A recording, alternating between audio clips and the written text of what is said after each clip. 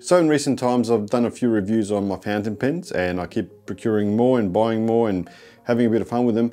But now I thought, you know what, it's time to have a bit of a change and have a look at something else out there.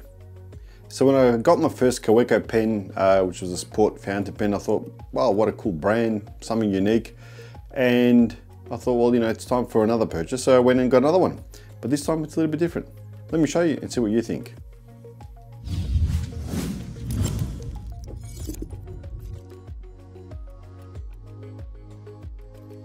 So when I say something different, I mean a non-fountain pen, but this time a ballpoint pen. And uh, previously I have purchased a Kaweco Sport fountain pen and I thought, you know what, let's try the ballpoint pen and see what it looks like. And this is what I'm talking about here today and I'm going to take you through it quickly now. Okay, so if you're thinking to yourself, what's Kaweco?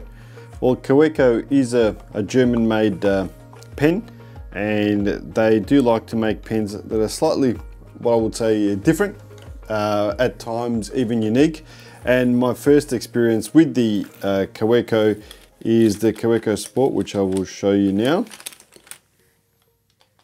So the Kaweco I was talking about is this one here.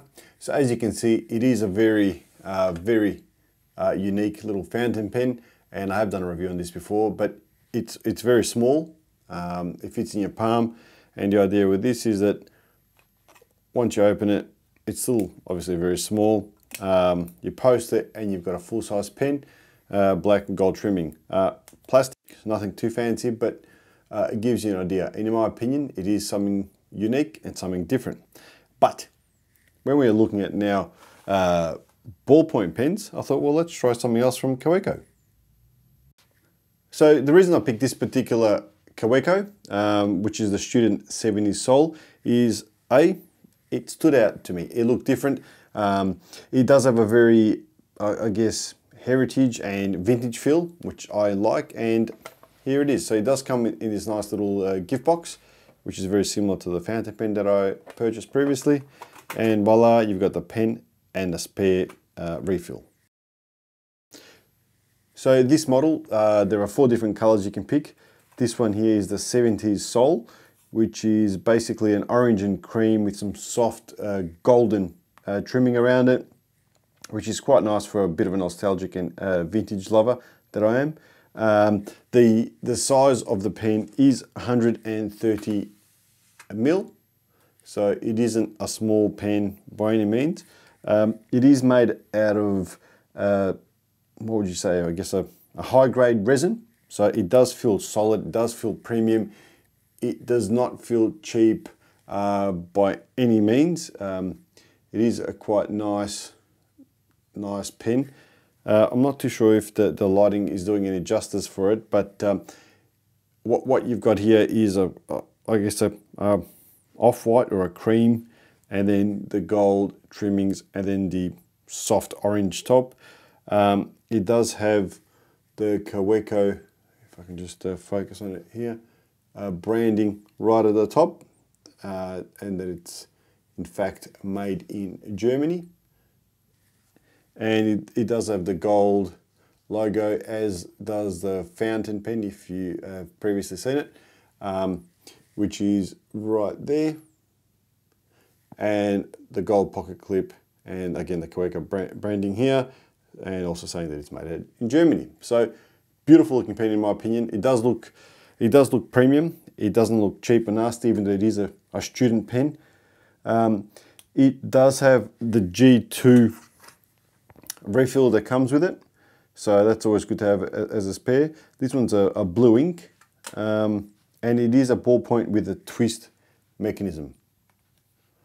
And I can tell you that the twist on it, um, it is quite, well, I would say quite pleasant because it's solid when you open it up, but when you retract it, as soon as you gently touch it, it almost auto um, auto retracts. Okay, so for the all important question, what does it feel like and what does it write like? Um, now, I look, I write like I've got, uh, well, let's just say it's not pleasant, but first things first, and this is something that's very important to me, um, the look and the feel to me, it looks premium, it feels premium, um, and it is very comfortable. It's, it's almost like, um, I don't know if you've ever used a four color pen, it's sort of quite thick and, and comfortable to write. I don't know after a long period of time of writing whether it's still gonna be comfortable, but let's just have, have a quick test. It is very, very uh, smooth. And I think that's uh, important to, to note that uh, I might just zoom in slightly. There you go. Quick test. You know, the, the ink that comes with it is, is blue. Um, I believe the spare one is also blue. Yep. Um, but it is smooth.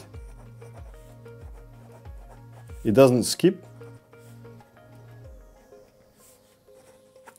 Not the best ink I've ever used, not the best uh, uh, smoothest lines, but in saying that, for what it is, I think it's quite nice. Now, you know, this is one of the other things that I sort of like in a pen is that if I'm using it, uh, I'm, I'm in a meeting, I want it to look nice and look elegant. So I hope you've liked this video. Um, this pen is a little bit unique, uh, particularly around the color and the model and the, the vintage feel. So um, yeah, if you've liked the, the, video and it's provided a bit of help, uh, please click the like button. Um, if you'd like to see more, click the subscribe button and you can uh, be notified when I do more videos. But nevertheless, thank you for tuning in. My name is Sash and this is ST Reviews. Goodbye.